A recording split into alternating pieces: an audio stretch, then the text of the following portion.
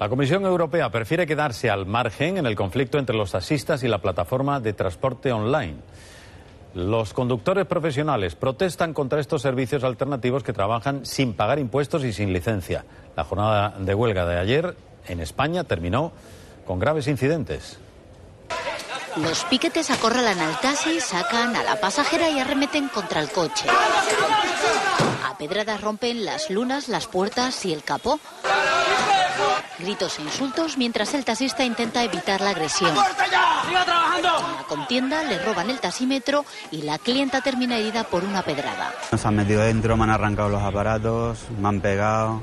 Hace dos meses que Miguel había comprado el taxi con el dinero que le prestó su suegra.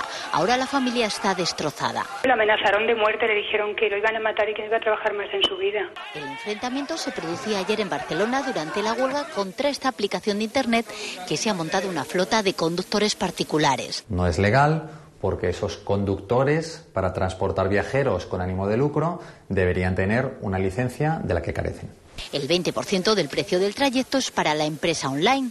Bruselas no quiere intervenir en el conflicto.